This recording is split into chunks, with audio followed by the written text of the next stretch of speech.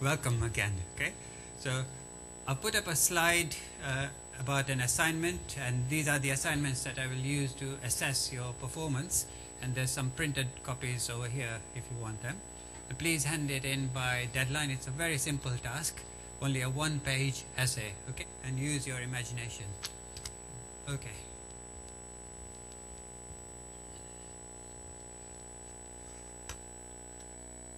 Right, so today's lecture I'm going to focus on uh, interstices in the crystal structures, body-centered cubic, face-centered cubic, and hexagonal closed packed. And interstices are the holes between the atoms. I'll give you examples of that.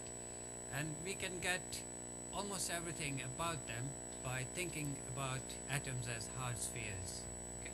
So we'll assume first of all a hard sphere model of atoms and look at the role of interstices in crystal structures.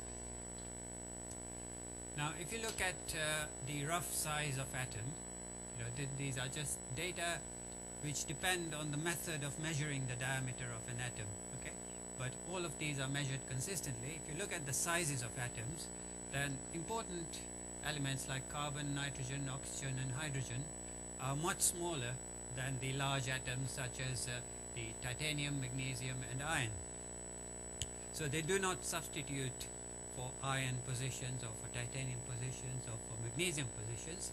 They tend to locate themselves in the spaces between the large atoms.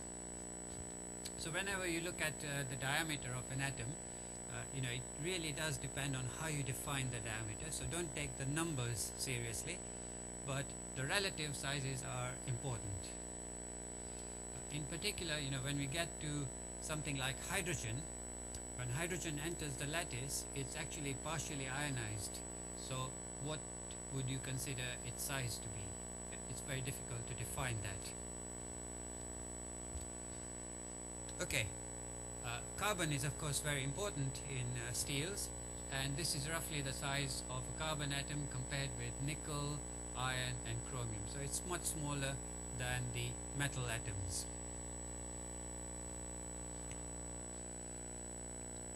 Here is a silicon atom inside iron okay, and it's roughly the same size as iron and therefore it substitutes.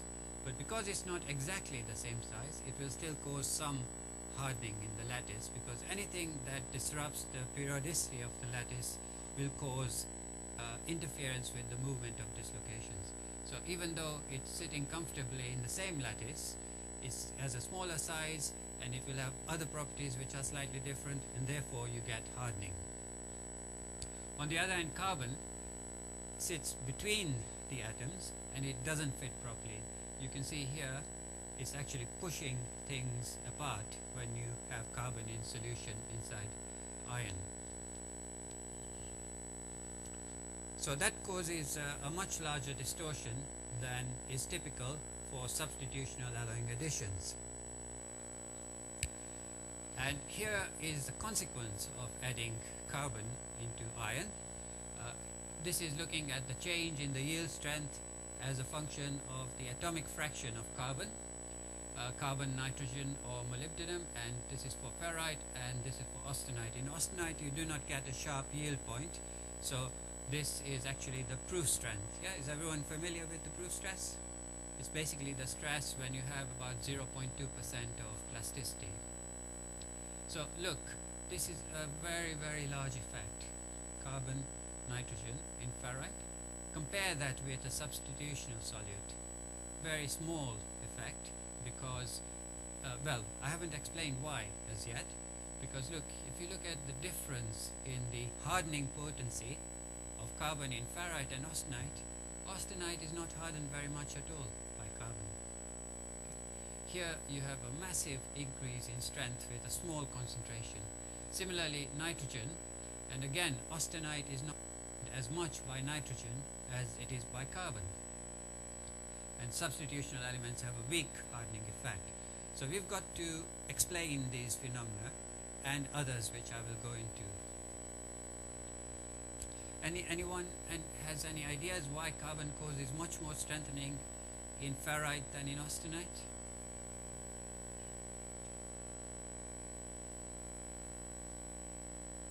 Look, this is this is an order of magnitude greater strengthening, right?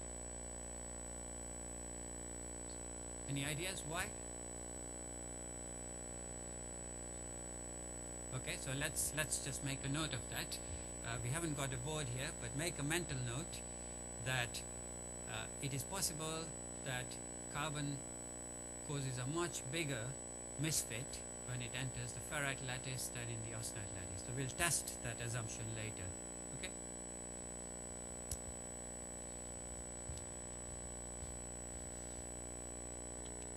Okay. So this is our body-centered cubic uh, lattice, and this is the lattice parameter of ferrite.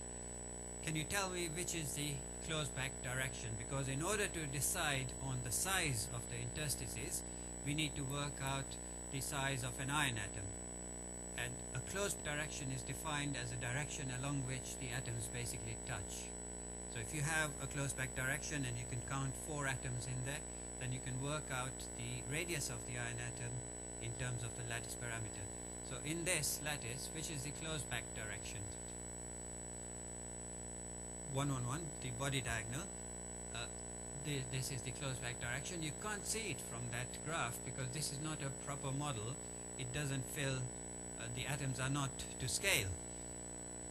So if you make a, a space filling model of the body centered structure, then you can see that the touching is along the body diagonals. Yeah? Is everyone happy with that? So 111 is a closed-packed direction in body centered cubic. There is no closed-packed plane in ferrite. Okay. The, the nearest you get to is the 110 plane, but there is no plane in which you have touching along three directions. But there is a closed-packed direction which is 111. So how many atom radii do I have in that direction 111? A111, how many radius radii of iron atoms equals A111?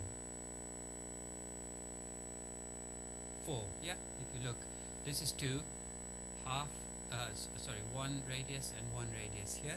So it's very easy to calculate the size of the iron atom in this structure. 111 alpha is the close packed direction. So if I take the magnitude of the 111 vector, that's equal to 4 times the radius of the iron atom. So you can express the radius of the iron atom in terms of the lattice parameter very simply. Everyone happy with working out the magnitudes of the vectors? This is a cubic system, so it's straightforward. It's the square root of the sum of squares of the components multiplied by the lattice parameter. Yeah.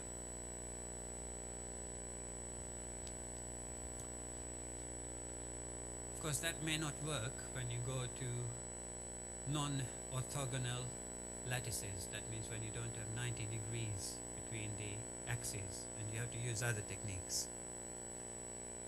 Okay, so the radius of the iron atom in the body-centered cubic structure is defined. Now, what is, uh, this is the octahedral interstice. Octahedral means you're surrounded by eight faces. These are the triangular faces. There are four faces on top, the dashed lines, and four at the bottom. So you are in an octahedral uh, box. And this is an octahedral hole in the iron lattice. Um, you can see it over here. So if you look at these four atoms of iron here, then they are like these four atoms, and the carbon atom sits in the middle with an atom at the top and an atom at the bottom. Okay. So what do you think is the point group symmetry of that octahedral hole? So remember how we define point groups, okay? You first looked at the z-axis. What are the symmetry elements along the z-axis for that interstice? So we have to find the symmetry elements going through that point.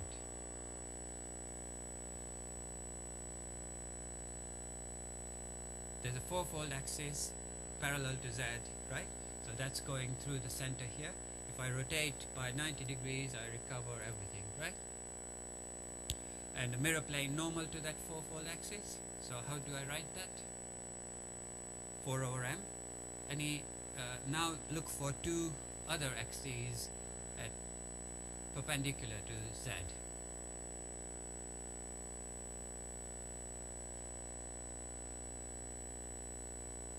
Sorry? Yeah, so wh- what will it, what's the rotation axis? Twofold. That's very good.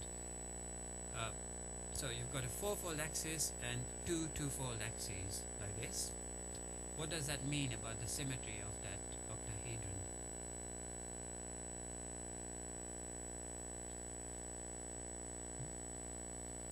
You know, obviously the three axes are not equivalent, right? So it's not what you call a regular octahedron. What would you call that symmetry where you have a fourfold axis and two twofold axes at 90 degrees?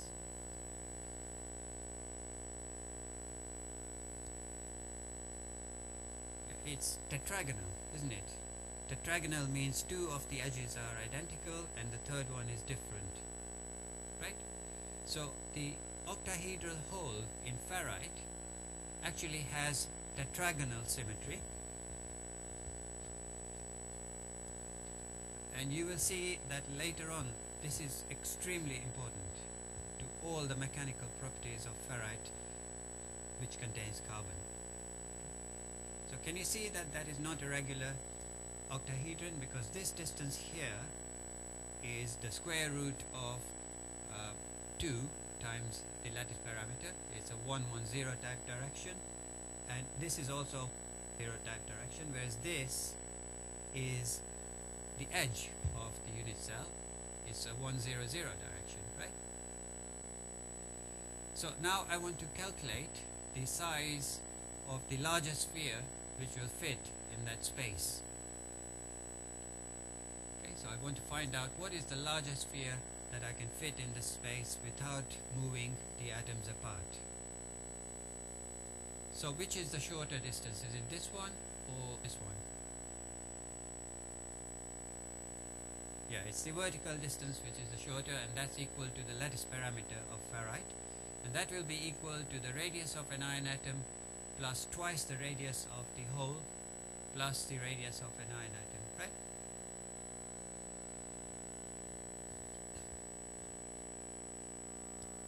So, we will see when we calculate the hole that carbon does not actually fit inside this and it pushes the vertical atoms apart.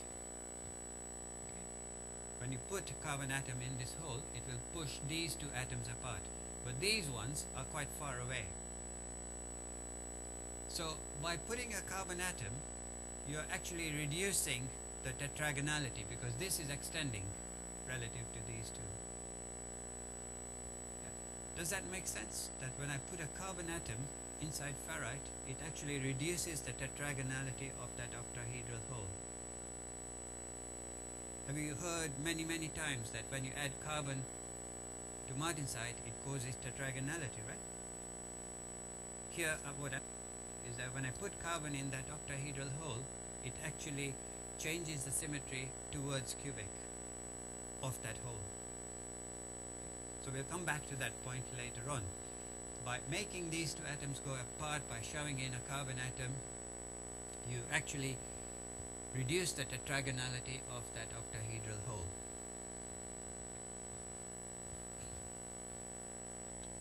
So here we have the um, radius of the iron atom which we derived earlier by looking at the body diagonal and this distance here is A alpha which will be equal to twice the radius of an iron atom here and here and twice the radius of an octahedral hole so it becomes very simple to derive the radius of the largest sphere that would fit in here without causing distortion just by rearranging this equation and substituting for the radius of the iron atom.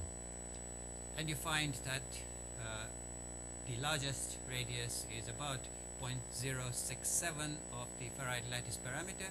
And if I substitute a number for the ferrite lattice parameter, which is about 2.866 angstroms, then you find that the hole is 19 picometers in size.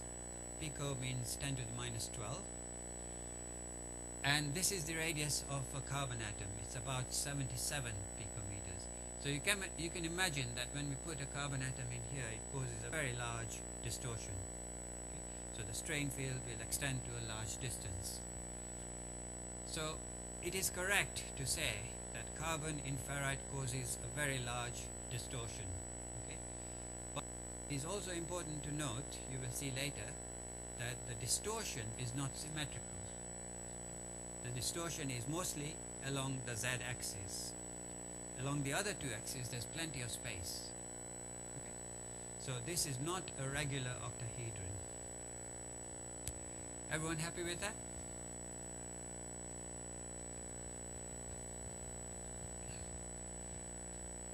Okay, now let's look at an alternative uh, hole which is tetrahedral. So tetrahedral means you have four faces surrounding an object. So supposing that I have a pair of atoms like this okay, and another pair of atoms at 90 degrees to that, then in between is an octahedral hole. Okay? That's the way to recognize an octahedral hole. I've got a pair of atoms there and another pair of atoms like this. If I join up the atoms, then I'll get a tetrahedron. Okay? Can you visualize that? So, if you look over here, this is a tetrahedral hole because look, I've got a pair of atoms and a pair of atoms. That pair of atoms and that pair of atoms forming the four faces. And this tetrahedral hole is actually located on this face here. So here, here, here is another view. If I put another atom on top, that carbon atom will be enclosed by four atoms. Now, I need to work out the size of that tetrahedral hole because at the moment we don't know whether carbon is going to go into the octahedral or tetrahedral interstices. So, it's quite difficult geometrically to do this. I think in terms of vectors, it becomes very, very easy. Okay? So, all I need to do is find what this vector is here. Okay? Because that will be equal to the radius of the iron atom plus the radius of the tetrahedral interstice. Yeah. Now, just looking at that diagram, it's still difficult to see what that vector is. So we'll draw a structure projection, which makes it a lot easier.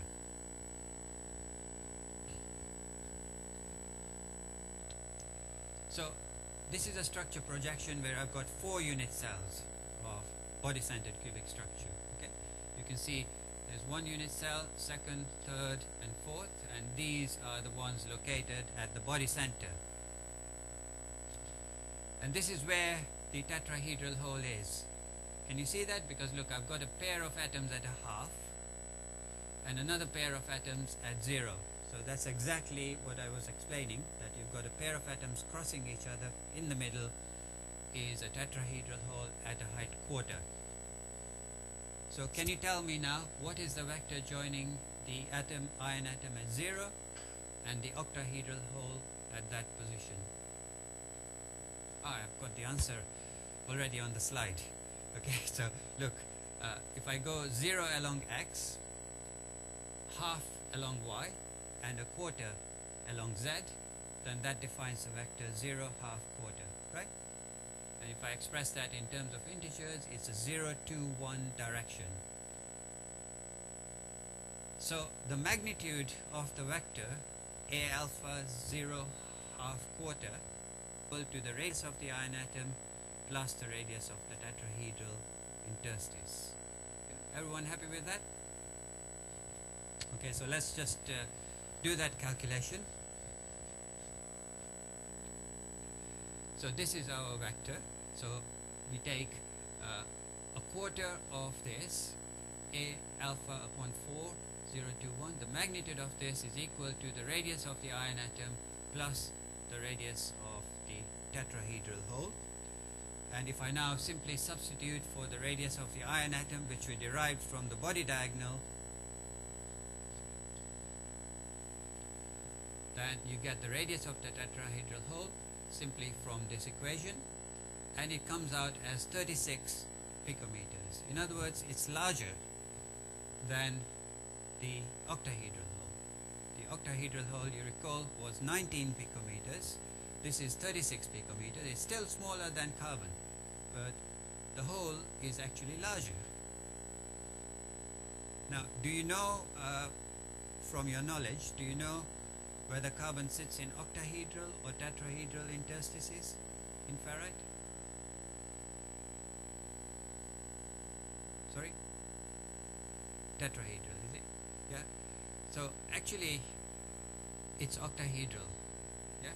You do experiments, then the carbon prefers to be in octahedral sites. So that's very strange because look, the size of the octahedral hole is much smaller than the size of the tetrahedral hole. So there's something something strange going on here. Experimentally, carbon sits in sites. There's no question about that. But from the size point of view, the tetrahedral hole is bigger. You see later there are also many more tetrahedral holes than octahedral holes.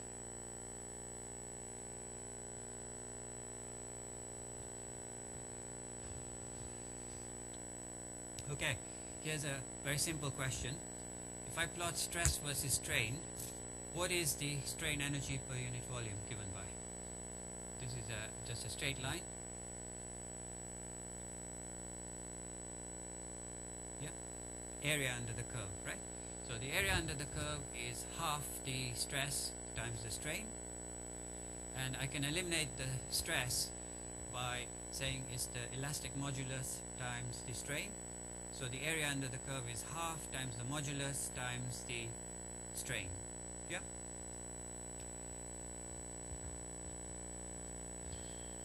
There you go. Half the strain squared times the modulus gives you the area under the curve, which is the strain energy per unit volume. So what we need to do now is to explain why carbon prefers octahedral interstices instead of tetrahedral interstices by working out the strain energy when you put a carbon atom into each of those holes. Now of course uh, there's a complication because we cannot assume isotropic modulus. Yeah, this is a crystalline material and I've emphasized that crystals are anisotropic. So we need to think about which directions the strains are happening in inside the ferrite crystal.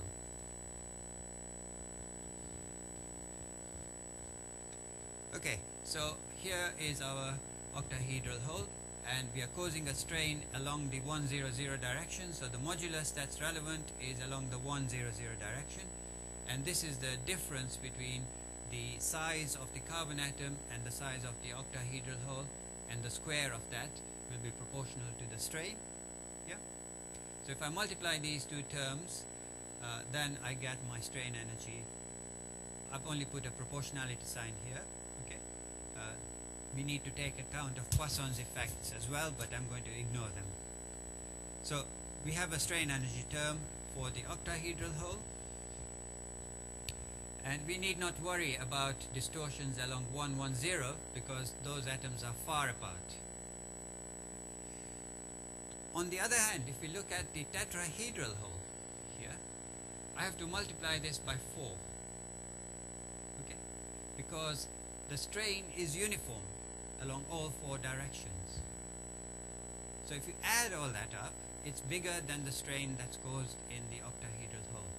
So it's the fact that the octahedral hole is not regular, that means there's a lot more space in the horizontal plane than along the vertical axis. That is the reason why carbon sits in the octahedral interstices.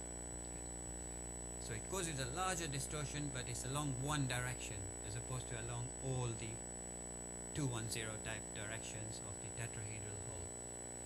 Now recently uh, calculations have also been done to show that the chemical bond, uh, the chemical solution energy for carbon in octahedral holes is actually smaller uh, than for the tetrahedral hole. So there are actually two terms, but it's much easier to just think in terms of the strain energy term. They both are in the same direction, that means they favor the octahedral interstices. Okay. So this is the reason why carbon sits in octahedral interstices. Is everyone happy with that?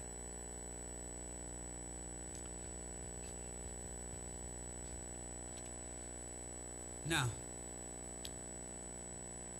if you look at the positions where we had the octahedral uh, holes, uh, these are the um, this is a unit cell of ferrite.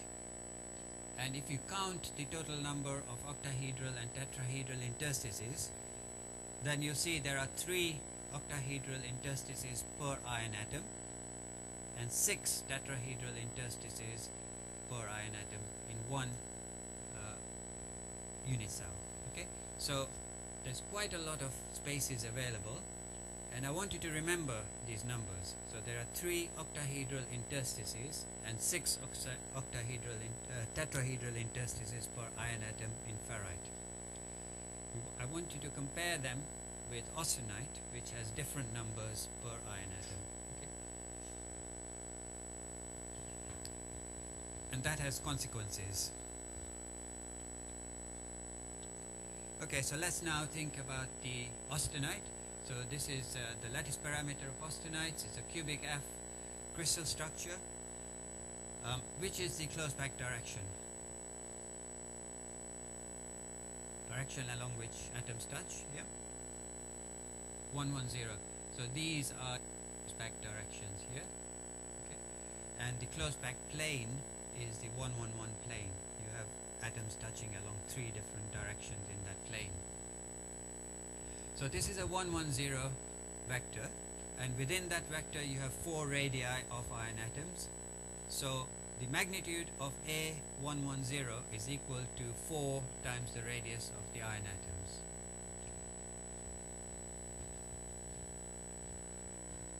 So here the magnitude of 110 is 4 times the radius of the iron atom so we can express the radius of the iron atom in terms of the lattice parameter of austenite and the lattice parameter of austenite is about 3.56 angstroms. Okay, so there's our octahedral hole right in the middle of the face-centered cube and you can see the atom sitting here between these four atoms and there'll be one above and one below forming the eight faces of the octahedron. What is the point group symmetry of that hole?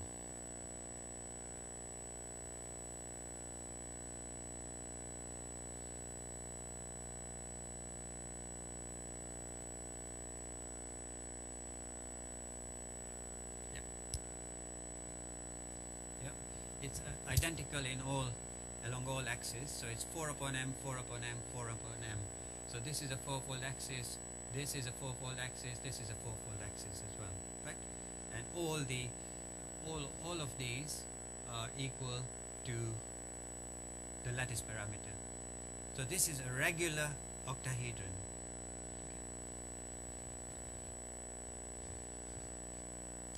So the point group symmetry is 4 upon m, 4 upon m, 4 upon m. And it's a regular octahedron. So it will if you put a carbon atom in there which doesn't fit it will cause an isotropic strain completely different from what we had in ferrite. It will cause expansion along all three axes.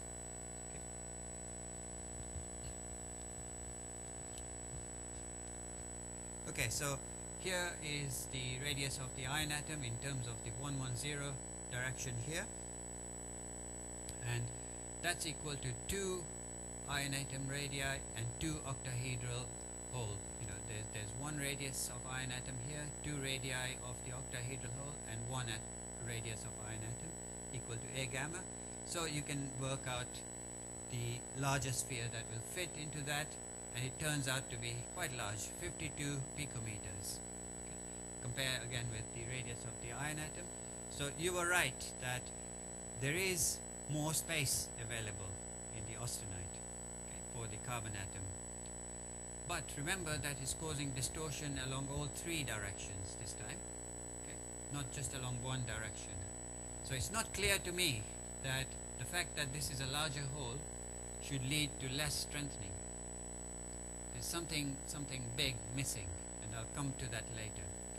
So this distortion causes very little hardening in austenite. It's almost, well, it's actually behaving like a substitutional solute because a substitutional solute, when you substitute silicon for iron, it simply causes isotropic expansion. So something which causes isotropic expansion should have less hardening effect than an anisotropic expansion. We need to understand why. Have you got any ideas? Don't worry if you haven't, I'll come to that later.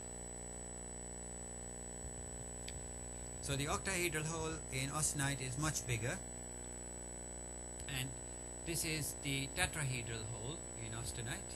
So can you tell me what this vector is? Because that vector is equal to the radius of the iron atom plus the radius of the carbon atom. What is this vector? Again, you can look at a structure projection here. This is located at a quarter height.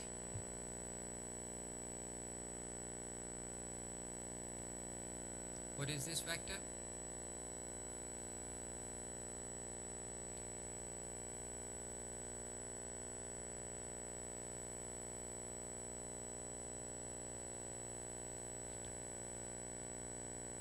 Just look at the structure projection. It should be very, very easy.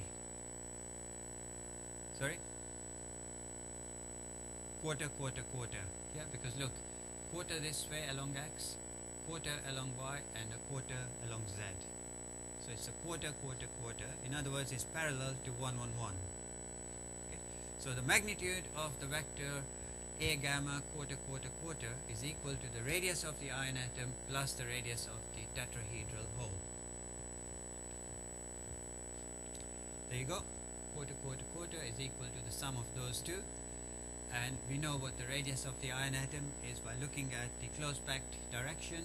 So simple substitution will give you that the tetrahedral hole a size of 36 picometers.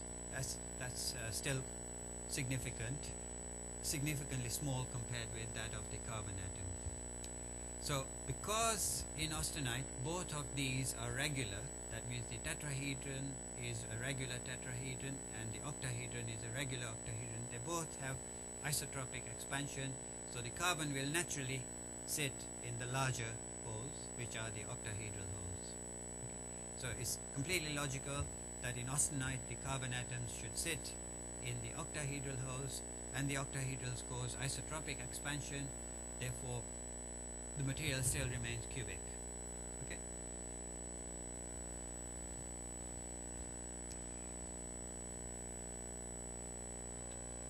Okay, so let's go back to our slide showing how the interstitial atom influences strength. So you can see this is one order of magnitude greater than the strengthening in austenite and it cannot simply be explained by the fact that the octahedral hole in ferrite is smaller because you only get strain along one direction. You have to think about the interaction of the interstitial with a dislocation. When Cottrell and Bilby originally derived the theory for the yield point, you know the theory for the yield point in iron? Why do we get a yield point?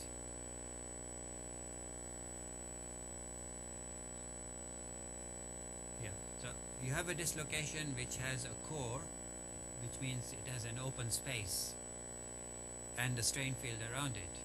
And if a carbon atom goes to that position, it lowers energy. So then to pull the dislocation away, you have to provide that extra energy.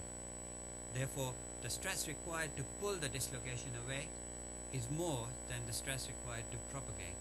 So you get a peak and then it drops as plasticity proceeds. And what is the purpose of a dislocation? What does a dislocation do when it moves? Yeah, but give me specifically, you know, uh, supposing I apply a hydrostatic stress, uh, that will simply cause volume expansion, right? What does it it causes a shear deformation, right? And can a shear deformation interact with a volume change? Hmm? No. Have you got an example for me? A technological uh, example where we use the fact that a hydrostatic stress cannot cause shear.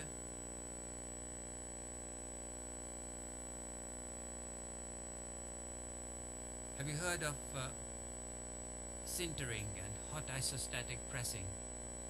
So you make a complicated shape out of powder and then you pressurize it from all directions to allow the particles to fuse together. Yep. That's called hot isostatic pressing. And the reason why you do that is because you're dealing with a very difficult material which cannot be cast. Okay? So you want it in its final shape. Now obviously if applying pressure causes shear, you would lose that shape, right? So that process exploits the fact that a hydrostatic pressure causes a shear and similarly a shear stress cannot interact with a hydrostatic strain. So if you have a uniform expansion that will interact very little with a dislocation because a dislocation is about shear most of its strain field is about shear that's why substitutional hardening is very weak compared with what carbon does in ferrite. The tetragonal strain associated with carbon in ferrite has an extremely strong interaction with the dislocation, whereas the isotropic strain for carbon in austenite does not. Okay? So that is the real reason why carbon causes a huge amount of hardening in ferrite because its strain is anisotropic. Isotropic strains have very weak interactions with dislocations. Everyone happy with that? So it isn't just about misfit, it's about the nature of the strain. It's a tetragonal strain as opposed to an isotropic strain. Substitutional elements only cause isotropic strain because they are simply substituting for an existing atom.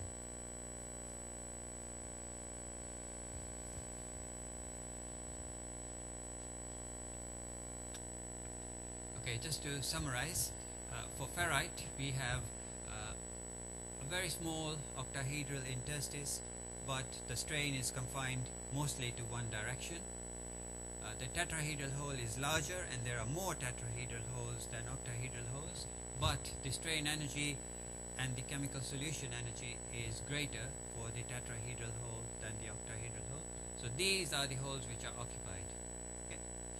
And in the case of austenite, forward, these are both cause isotropic strains, and therefore uh, the larger one will be the one that is mostly occupied when you put carbon in austenite, and the strengthening effect will be weak.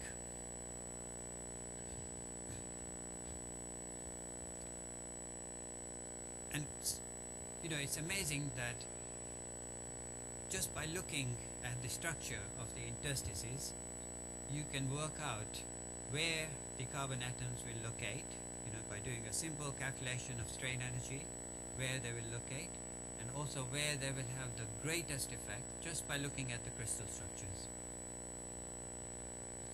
And when Cottrell and Bilby originally derived the yield point theory, uh, in order to make the analysis simple, they assumed that the carbon atom is just causing a volume change. Okay? And they captured you know 95% of the theory that it's the locking of the dislocations by carbon atoms which causes the yield point. and then later on people modified the theory to include the proper strain so that you can make a quantitative comparison with yield point effects.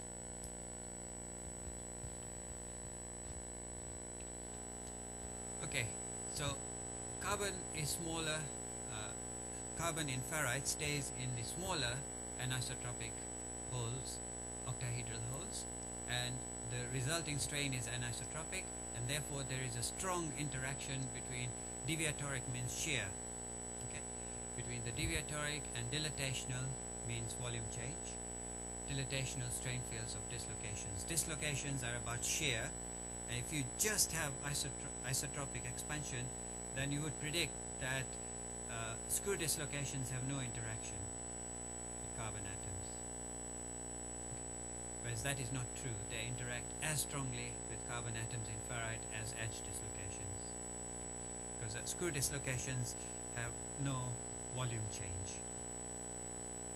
I'm, I'm making statements which are approximate because remember crystals are anisotropic, so it's a bit more complicated than saying screw dislocations have no volume change. Okay. So we get intense strengthening, and there are three octahedral and six tetrahedral holes per atom of iron in ferrite. In austenite, the carbon sits in the larger isotropic octahedral interstices, and it basically behaves like a substitutional solute with weak interactions with locations. So you only get mild strengthening, and the number of octahedral interstices is one third of what you have in ferrite.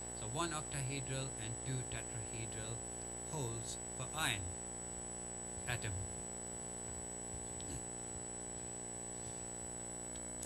Okay, so that has consequences. You know, the difference in the number of atoms between the austenite, uh, number of holes per iron atom in the austenite and the, in the ferrite. So let's just focus on the octahedral holes. Uh, if you transform austenite into ferrite, then the number of octahedral holes increases by a factor of 3. If you transform uh, the parent phase into the product phase, then you start with one octahedral hole per iron atom and you end up with 3. So imagine that we have a mechanism of transformation which is diffusionless. Okay? And I want to show you how that happens. So this is my unit cell of austenite, it's face-centered cubic. And in this diagram I've drawn two unit cells of austenite next I don't know why we've got these black images coming out, but I think it's still, you can still see the essence of the diagram. So I've simply drawn two austenite cells next to each other. And I explained to you in the first lecture that a unit cell is not unique. There is an infinite choice you can make. So the red cell over here is still austenite. Nothing different about it, but it's a body-centered tetragonal cell of austenite. All I've done is I've drawn this in red, but it's still the cubic F lattice. Can you see that? So this is the body-centered tetragonal cell of austenite. By looking at that, it's very easy to think how you can change that to body-centered cubic. You compress along the vertical axis and uniformly expand along the horizontal axis end up with a cube which is body-centered cubic. So that is known as the Bain strain, the Bain deformation that when you get diffusionless transformation, you can change the structure of austenite to ferrite simply by compressing along one axis and expanding along the other two axes. Is everyone happy with that? Now, if we look at the octahedral interstices, they are located on each of these edges of austenite, then the fact that we have a Bain deformation means that the number of octahedral interstices will increase by a factor of 3. So one sublattice of octahedral interstices changes into 3 in the martensite or ferrite. So if I had carbon atoms located in, in these three sites, as soon as I get the Bain strain, they will all be confined one set of octahedral interstices. The other two sets which are created will be empty. That means the carbon atoms will be located on parallel edges of the martensite, not on the other two sets. That is what makes it tetragonal. The carbon atoms are ordered on one set of octahedral interstices. So if you have diffusionless transformation, you necessarily end up with a tetragonal martensite if you have carbon. If the temperature is high enough, then the carbon atoms might redistribute also to the other octahedral interstices in the ferrite, and that might give you cubic martensite. But when it first forms, all the carbon atoms will be located along one set of edges in the martensite. The other two sets of octahedral interstices will be empty. So by definition, if you have a diffusionless transformation in austenite containing carbon, first you will get tetragonal martensite temperature might change things later on, but the initial condition will be tetragonal. So this is why the apparent contradiction that I mentioned to you earlier, that when you put a carbon atom in an octahedral interstice in ferrite, it reduces the tetragonality of that hole, okay? Because it causes expansion along the z-axis. But if I have carbon atoms ordered on one set of edges, then that adds up to give you a tetragonal lattice. Okay?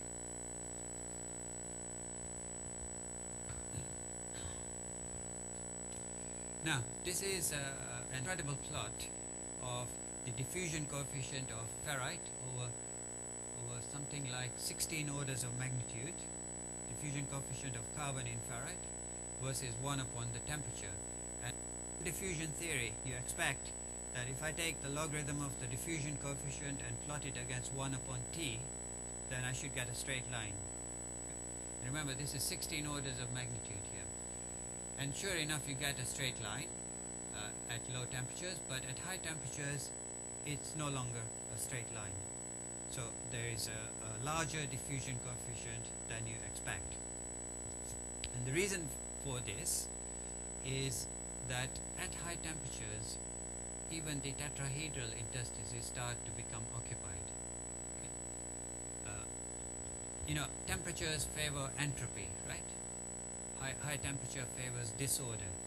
So confining things to just the octahedral interstices is a lower entropy. But if you raise the temperature, then it will tend to disorder the carbon atoms and some will be occupied uh, some tetrahedral interstices will also be occupied. And that's why you get the deviation in the diffusion coefficient. Because actually when you think about the movement of carbon atoms in ferrite you have to think about three diffusion coefficients. The first one is when the carbon atom jumps from octahedral to tetrahedral to octahedral site because separating two octahedral sites is a tetrahedral site it cannot jump directly from octahedral to octahedral and then you have the jump between tetrahedral sites. Remember there are six per iron atom, so it is possible to jump from tetrahedral to tetrahedral. And then you have the jump from tetrahedral to octahedral to tetrahedral. And we have information on all of these, okay, including the activation energies and so forth. This is the fraction of sites occupied, whether it's octahedral, in this case it's octahedral, and 1 minus that is how many atoms are in the tetrahedral. So you can pick up the fact that some of the carbon atoms are no longer in octahedral site from that diffusion coefficient which is measured at high temperatures. Okay, so what I've shown you is very elementary considerations of the crystallography of the material that you're looking at. You can derive such important consequences, for example, why the strengthening of ferrite is uh, a lot greater than of austenite when we put interstitial species and this applies to whether it's you know iron or titanium or whatever yeah? if you look at the misfit and the symmetry of the misfit caused by the interstitial atoms you can derive a lot more information and the consequences are not simply on strength but on many properties I've shown you also diffusion coefficients but even the cap capability to absorb vibrations depends on the nature of those interstices. So if I take a wire and I make it into a pendulum, so there's a weight doing that. At certain frequencies, uh, there will be a lot of damping. And that's because the carbon atoms start jumping between adjacent sites under the influence of stress. Because when you apply stress, you will cause the lattice to expand along one direction, so the carbon atom wants to sit in that more spacey hole. Right? Do you know what this effect is called? We have equipment in GIFT to measure this.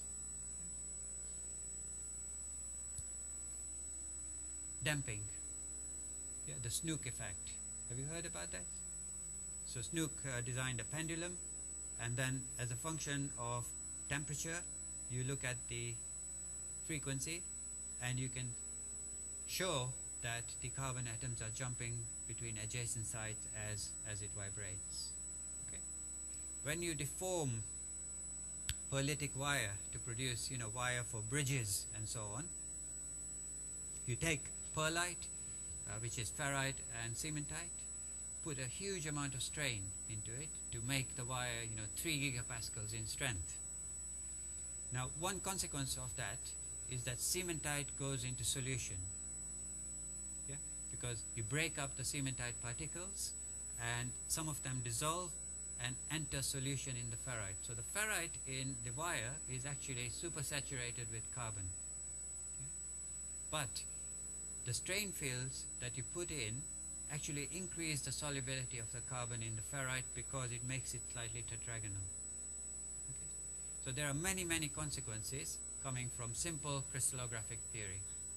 So I'll stop there. Uh, some of you who came late, please pick up this assignment which you I'd I would like uh, handed in uh, on Monday when we have the lecture. Okay, so thank you very much.